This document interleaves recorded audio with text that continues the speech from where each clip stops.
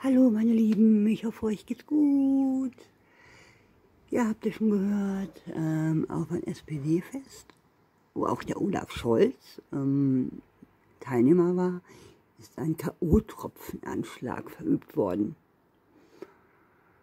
Oh oh, jetzt ermittelt die Polizei oder das LK, ja, ne? Tja, ja, ich habe keine Ahnung wie sich ein Täter einschleusen konnte. Ich weiß es nicht. Ich meine, die kannten sich doch alle, oder nicht? Ich habe echt keine Ahnung. Dies war in einem geschlossenen Festzelt. Hm. Ich möchte dies jetzt nicht werten, weil sonst wird mir das Video gelöscht. Ihr wisst ja, ne? Oh jemine, oh jemine.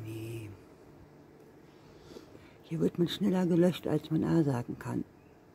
Nur ein falsches Wort und ja, da ist man weg. Ne? Okay.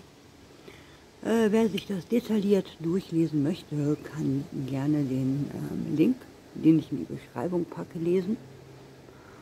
Ja, und ansonsten, ups. Ansonsten sage ich bis bald und wir sehen uns. Tschüss.